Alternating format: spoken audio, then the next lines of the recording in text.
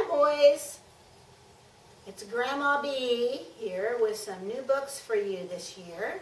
I'm going to read them all together on this movie so that you can see your book and then you'll also get to see the other books that your cousins and brothers have.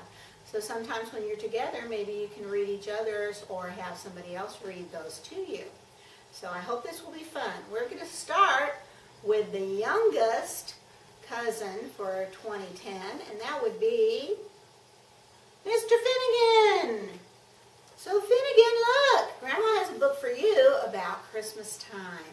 This is called Twas the Night Before Christmas. Might have something about Santa Claus in here.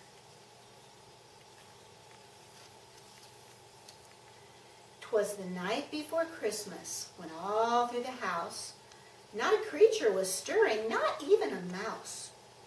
The stockings were hung by the chimney with care, in hopes that St. Nicholas soon would be there. The children were nestled all snug in their beds, while visions of sugar plums danced in their heads. And Mama in her kerchief and I and my cat had just settled down for a long winter's nap. Everybody's quiet and asleep. What's going to happen? When out on the lawn there arose such a clatter, I sprang from my bed to see what was the matter.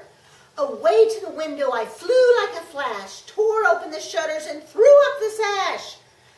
The moon on the breast of the new fallen snow gave the luster of midday to objects below.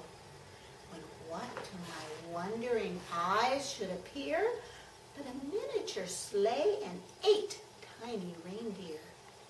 With driver so lively and quick, I knew in a moment it must be Saint Nick. Is Santa Claus coming? See. More rapid than eagles, his coursers they came, and he whistled and shouted and called them by name. Now Dasher, now Dancer, now Prancer and Vixen, on Comet, on Cupid, on Donner and Blitzen, to the top of the porch, to the top of the wall. Now dash away, dash away, dash away all. As dry leaves that before the wild hurricane fly, when they meet with an obstacle mount to the sky, so up to the housetop the coursers they flew, with a sleigh full of toys and St. Nicholas too. Oh boy, look at there. I wonder if there's a toy in there for Finn.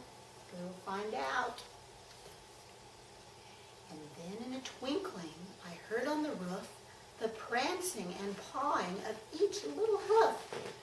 As I drew in my head and was turning around, down the chimney St. Nicholas came with a bound.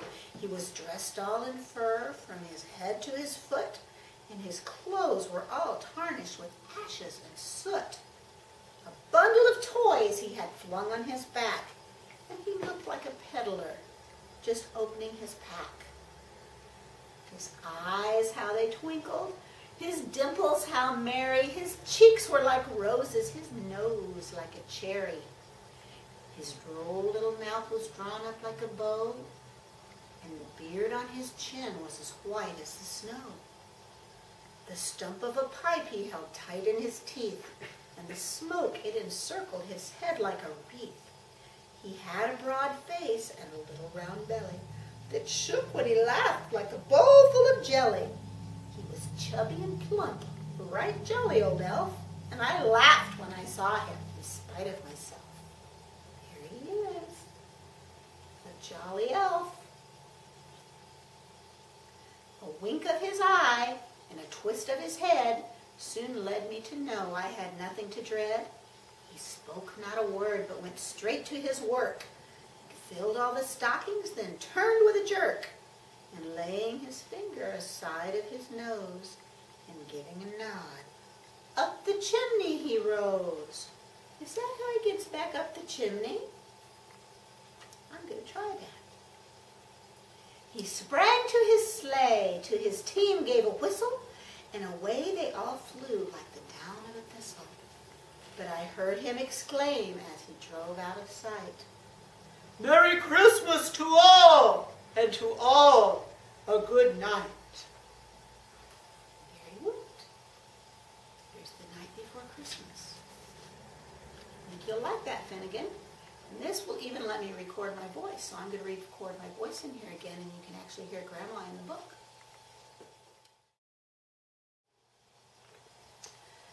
Let's see what we have for Shakovan this year. This is a little book called Jamberry, and it's all about picking all kinds of delicious berries in the woods and making all kinds of delicious foods. Yum. Jamberry. There's a bear getting his berries. One berry, two berry. Pick me a blueberry. Mmm, that looks good. I like blueberries. Hatberry, shoeberry, and my canoe berry. Under the bridge and over the dam, looking for berries, berries for jam. Mm, I love jam and jelly. Oh, look at all the berries, and they fell down, and the canoe tipped over, and it's raining blueberries. Yummy. Three berry, four berry, hay berry, strawberry, finger and paw berry. My berry, your berry. I like strawberries too. Strawberry ponies, strawberry lambs, dancing in meadows of strawberry jam. Mm -hmm. Quickberry, quackberry, pick me a blackberry So they have blueberries and strawberries and now blackberries. Trainberry, trackberry, clickety, clackberry. Look at all the berries in the train. Rumble and ramble and blackberry bramble. Billions of berries for blackberry jamble. Yummy. Raspberry, jazzberry, razzmatazberry, berry band, berryland, jamming in berryland. Yummy. Now they have raspberries.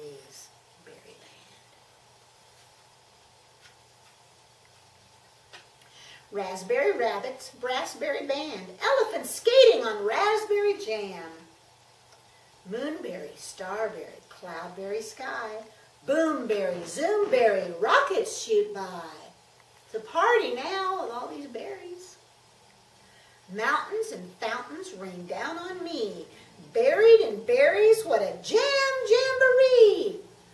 Do you see the blueberries and the strawberries and the blackberries and the raspberries?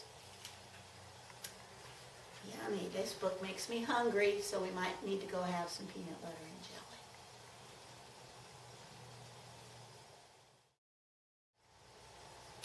jelly. Now let's see what we have for Sequavian. Here is a book for Sequavian. Silly Sally. Do you know anybody named Sally? Do you know that my parents tried to call me Sally when I was just a very little baby? But it didn't take. So then they called me Savilla. But this is a silly girl named Sally. Let's see what she does. Silly Sally went to town walking backwards upside down. Walking backwards upside down. On the way, she met a pig, a silly pig. They danced a jig. Silly Sally went to town dancing backwards upside down. On the way she met a dog, a silly dog. They played leapfrog. Silly Sally went to town leaping backwards upside down. On the way she met a loon, a silly loon. They sang a tune. Silly Sally went to town singing backwards upside down. On the way, she met a sheep, a silly sheep, and they fell asleep.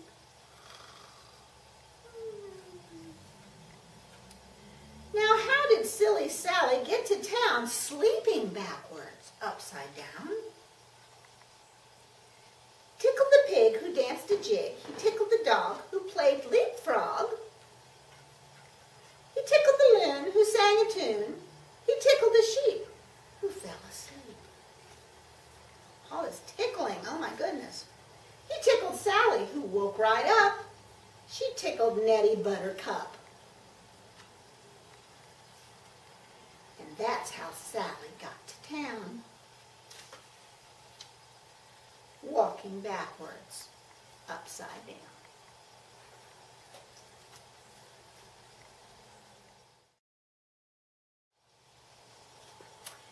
Now let's see what we have for Andrew to read. Remember in Silly Sally, she had fallen asleep? Well, this is about a whole house.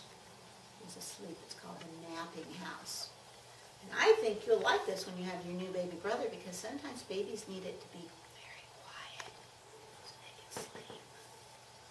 So naps are nice. Let's see what's happening in the napping house. And you also have a CD that goes with your book. It has some songs in there for the napping house. The Napping House by Audrey Wood and Don Wood. There is a house, a napping house, where everyone is sleeping.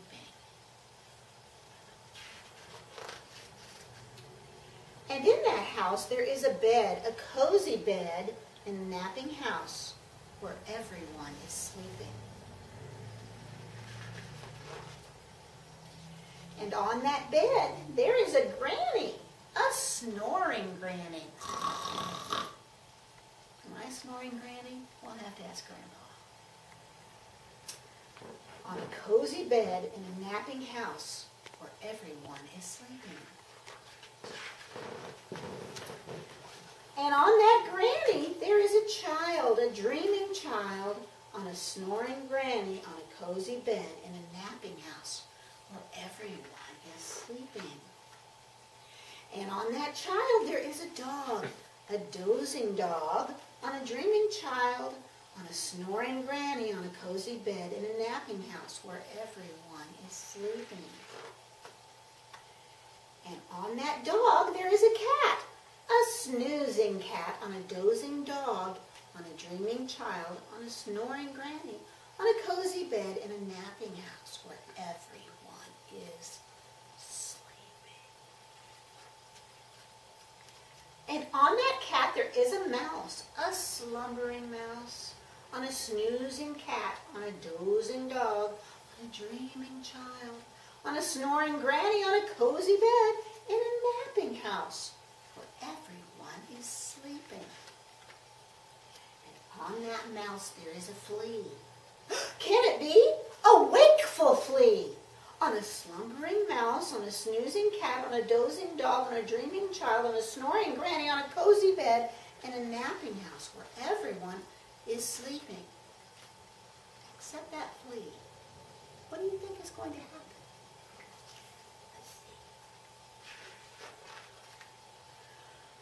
A wakeful flea who bites the mouse. Oh no! Who scares the cat? Oh no, this cat, look how scared the cat is. Meow. Who claws the dog? Oh no. Who thumps the child? Oh, I'm awake. Who bumps the granny? Oh no. Now granny's awake too. Who breaks the bed? Boom. In the napping house, where no one now is sleeping. So I guess the flea decided it was time for everybody to get up. So there you go. That's the napping house.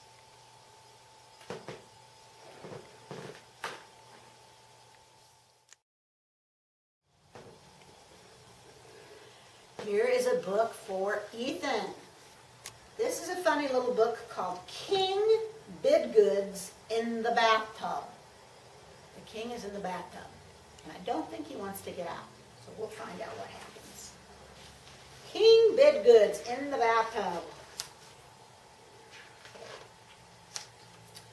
Help! Help! cried the page when the sun came up. King Bidgood's in the bathtub and he won't get out. Who knows what to do? Hmm. I do, cried the knight when the sun came up. Get out, it's time to battle. Come in, cried the king with a boom, boom, boom. Today we battle in the tub. He's having a big battle in the tub. Look at all those soldiers. Help! Help! cried the page when the sun got hot. King Bidgood's in the bathtub and he won't get out. Who knows what to do?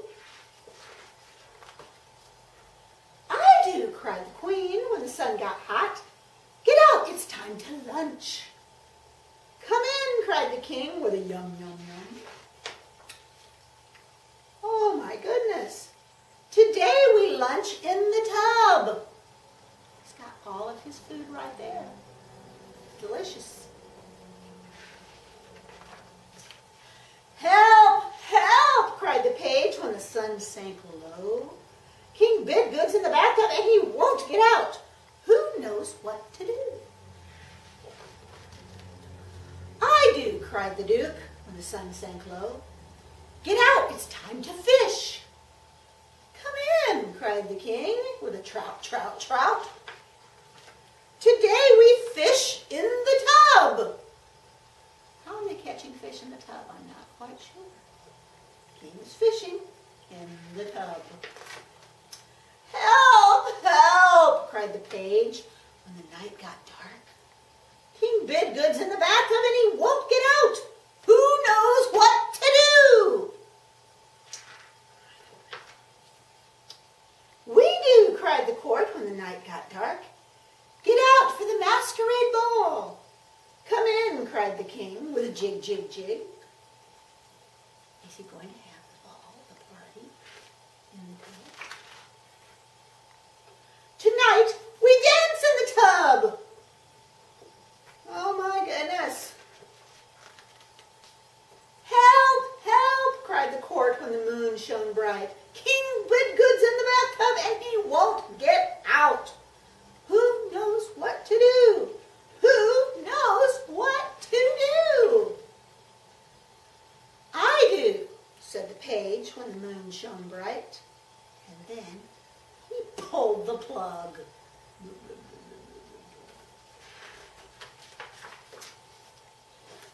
Glub, glub, glub.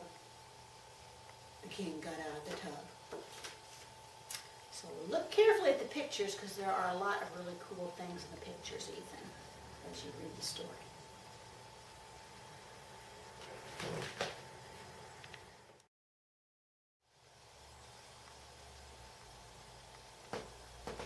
All right, now we're going to get to Shy's book and then Savante's book.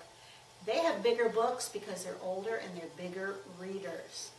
Last year, Shy was reading all of the Harry Potter books, and Savante was reading all of the Wimpy Kid books. And this year, I have C.S. Lewis and Tolkien books for you. So Shy's book is The Hobbit. And this was the first story before he wrote The Lord of the Rings. So I think you'll find this a very good story. Sometimes you may even want to ask mom to read some of it to you out loud, but I think you'll be able to read it yourself if you spend some time with it. There's also the maps and the secret language of the Shire and the Hobbits. So you can learn how to read the secret codes in here if you pay really good attention. The beginning of the book has a preface which tells a little bit about how the story was begun. So you may want to read that before you actually get started. But I am going to skip to table of contents here. On page three is when the story actually begins, called an unexpected party.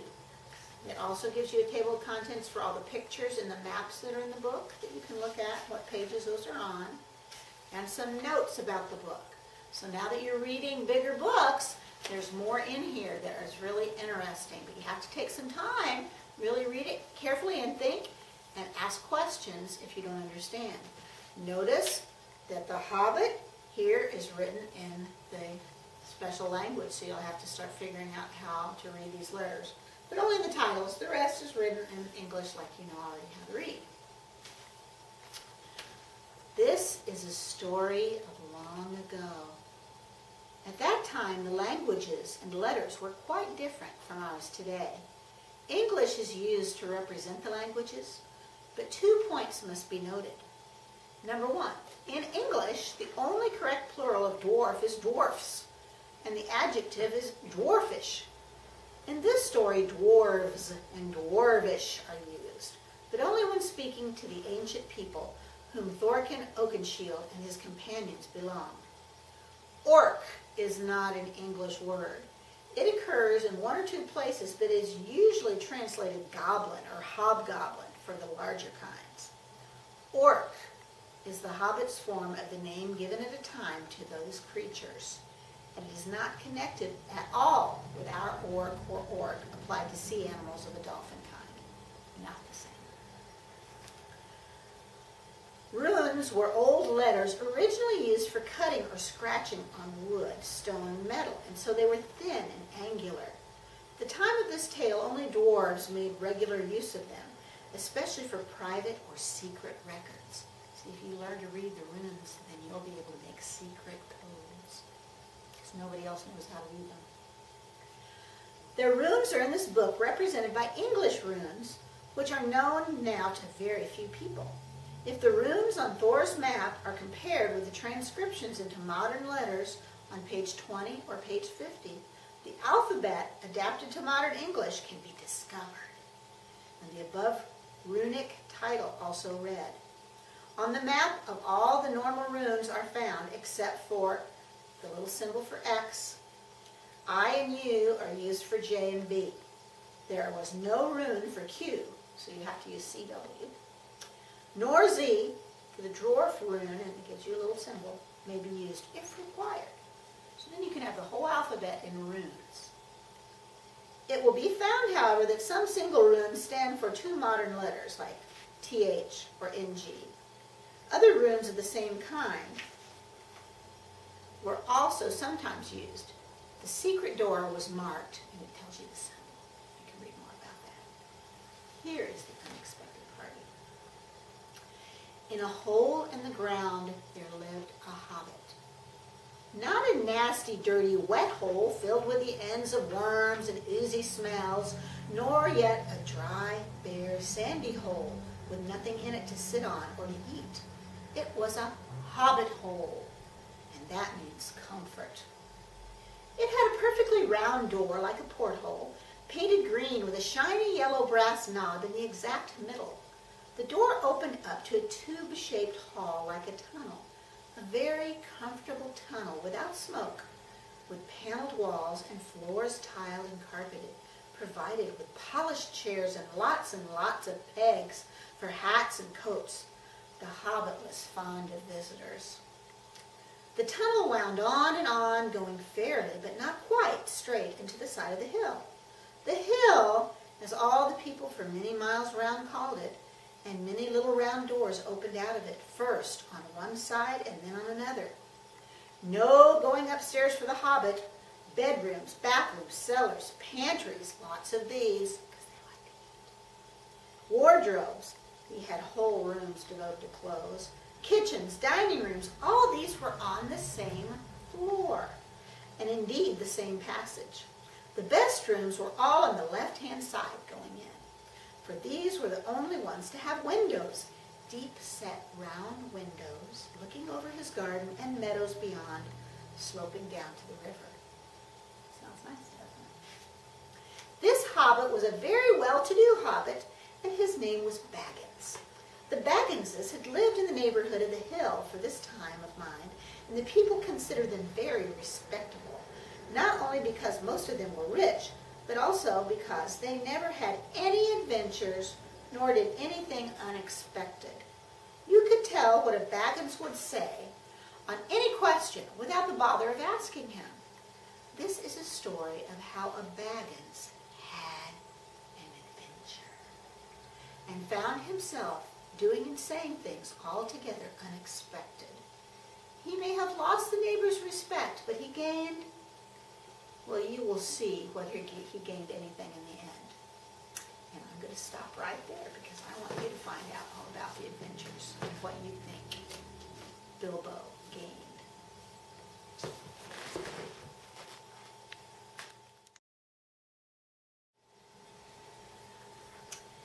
And now we're ready for Cervantes' book. Cervantes is 11 years old.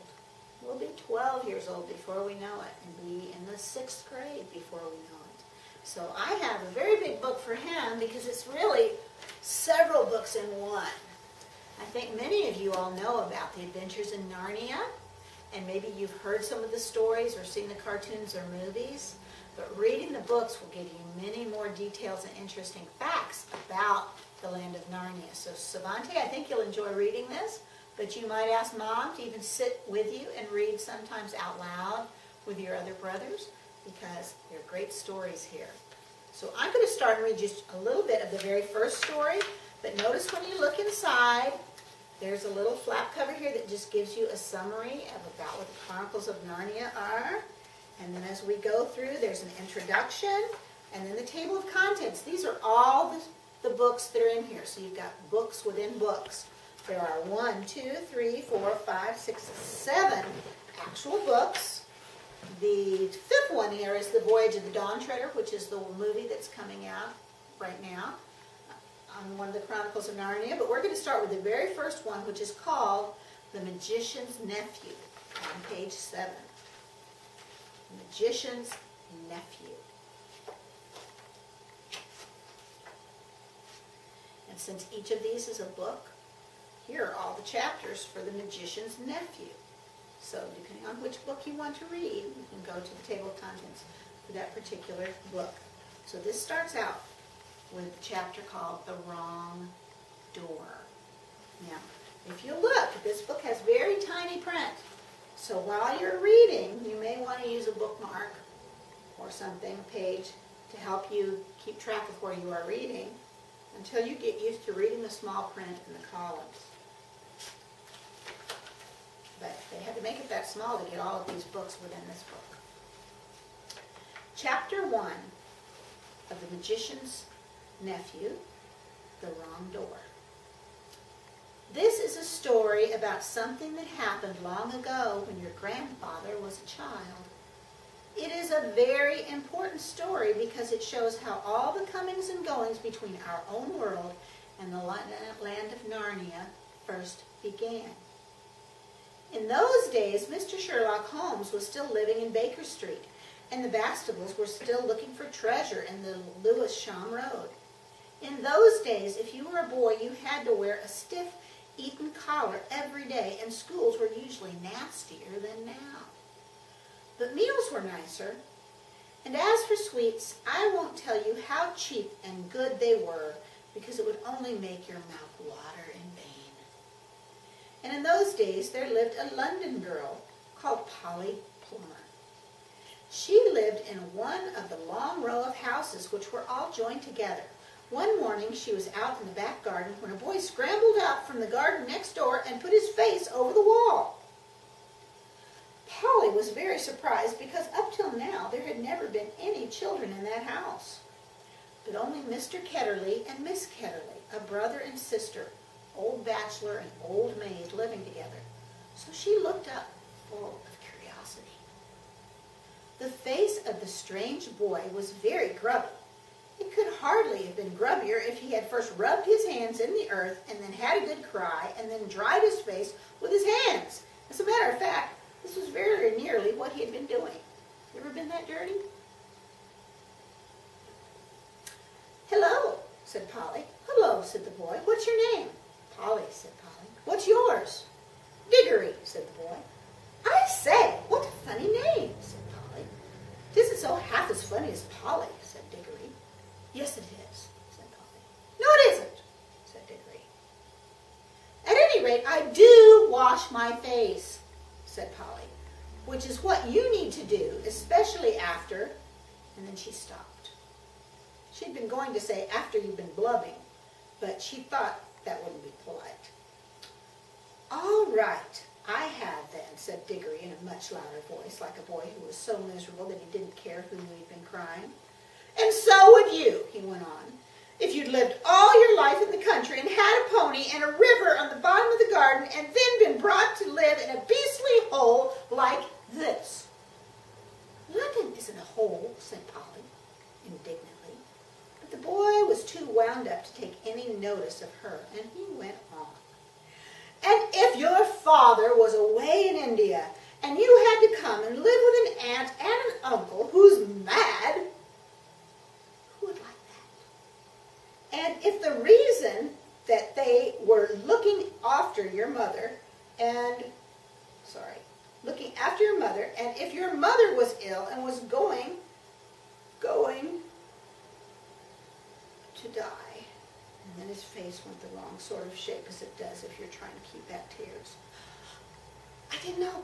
I'm sorry, said Polly humbly. And then, because she hardly knew what to say, and also to turn Diggory's mind to cheerful subjects, she asked, Is Mr. Ketterly really mad? Which means crazy. Well, he's either mad, said Diggory, or there's some other mystery. Has a study on the top floor, and Aunt Letty says I must never go up there. Well, that looks fishy to begin with. And then there's another thing. Whenever he tries to say anything to me at meal times, he never even tries to talk to her. She always shuts him up. She says, Don't worry the boy, Andrew, or I'm sure Diggory doesn't want to hear about that. Or else, now, Diggory, wouldn't you like to go out and play in the garden? What sorts of things does he try? I don't know. He never gets far enough. But there's more than that. One night, it was last night in fact, I was going past the foot of the attic stairs on my way to bed. I don't much care for going past them either. And I'm sure I heard a yell. Perhaps he keeps a mad wife shut up there. Yes, I've thought of that. Or perhaps he's a coiner. Or he might have been a pirate, like the man at the beginning of Treasure Island, and be always hiding from his old shipmates. How exciting, said Polly. I never knew a house was so interesting. You may think it's interesting, said Diggory, but you wouldn't like it if you had to sleep there. How would you like to lie awake listening for Uncle Andrew's step to come creeping along the passage to your room? And he has such awful eyes. That was how Polly and Diggory got to know one another. And it was just the beginning of summer holidays, and neither of them was going to the sea that year, that they met nearly every day. Their adventures began chiefly because it was one of the wettest and coldest summers there had been for years.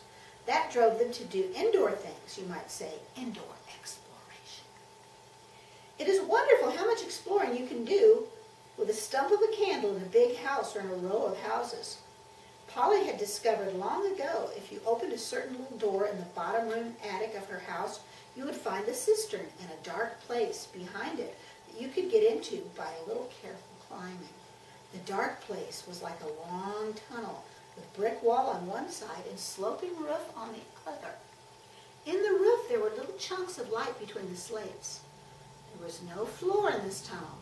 You had to step from rafter to rafter, and between them there was only plaster. If you stepped on this, you would find yourself falling through the ceiling of the room below. Polly had used this bit of the tunnel just beside the cistern as a smuggler's cave. She had brought up bits of old packing cases and the seats of broken kitchen chairs and things of that sort, and spread them across from rafter to rafter so as to make a bit of a floor. Here she kept a cash box containing various treasures and a story she was writing, and usually a few apples. She had often drunk a quiet bottle of ginger beer in there. The old bottles made it look more like a smuggler's cave. Diggory quite liked the cave. She wouldn't let him see the story. But he was more interested in exploring. Look here, he said, how long does this tunnel go on for? I mean, does it stop where your house ends? No, said Polly, the walls don't go out to the roof. It goes on. I don't know how far. That we could get the length of the whole row of houses. So we could, said Polly. Oh, I say. What? We could get into the other houses. Yes, and get taken up for burglars. No thanks. Don't be so jolly clever. I was thinking of the house beyond yours. I'll let you read to see what happens because the house beyond his was an empty house. It had been empty for years. So they might actually be able to sneak inside. And who knows what adventures they might find. So I hope you enjoy all of the Chronicles of Narnia. And next year I'm going to find out if you read them all.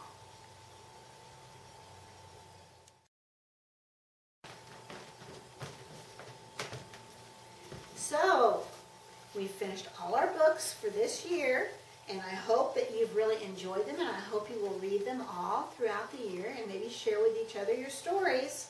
We've got Silly Sally, Jamberry, The Hobbit, King Bidgood, Napping House, Night Before Christmas, and The Chronicles of Narnia. Those are awesome books. Good job, Grandma. Thank you.